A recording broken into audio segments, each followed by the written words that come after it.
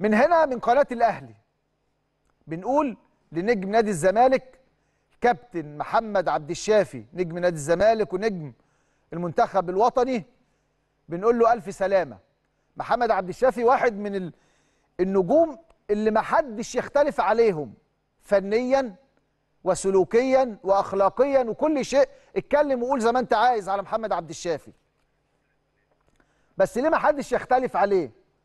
علشان أخلاقه علشان سيرته دايما سابقاه.